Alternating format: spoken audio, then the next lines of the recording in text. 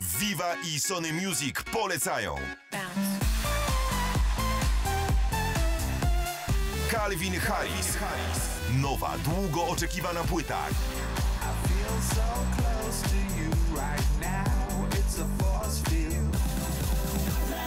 Calvin Harris. Płyta Calvina Harrisa 18 Months już w sklepach.